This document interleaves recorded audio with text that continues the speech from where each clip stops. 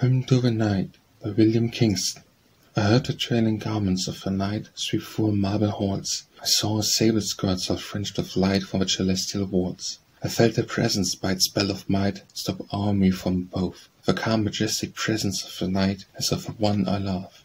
I heard the sounds of sorrow and delight, The many folds of chimps That fill the haunted chambers of the night Like some old poet's rhymes. On the cool cistern of the midnight air My spirit drink repose, The fountain of perpetual peace flows Where from these deep cisterns flows. A holy night, when we are learned to be What man is born before, Or lays their finger on the lips of care, And they complain no more.